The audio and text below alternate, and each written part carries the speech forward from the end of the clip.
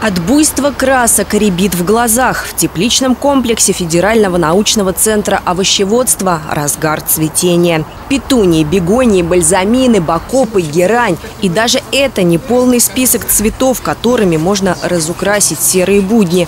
Сотрудники центра к сезону начали готовиться еще осенью. Это закупка торфа, горшков, кассет, куда это все высаживается.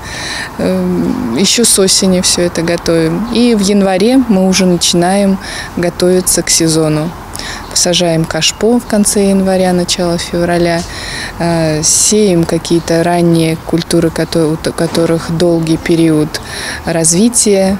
Бегония – одно из самых популярных растений у садоводов. Было открыто в конце 17 века. В России стало популярным два столетия спустя, после Отечественной войны 1812 года.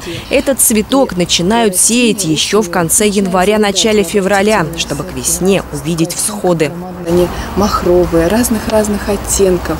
Желтые, красные, белые, розовые, там с каемочкой. Мы его можем на окошко поставить или посадить?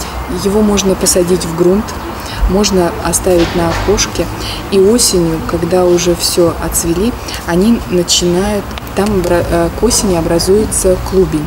Осенью специалисты рекомендуют аккуратно убрать стебель бегонии, не потревожив клубень. На зиму цветок уходит в спячку, чтобы весной расцвести с новой силой. Александр Рябцев приехал в теплицу по заданию супруги. Она-то и помогла определиться ему с выбором.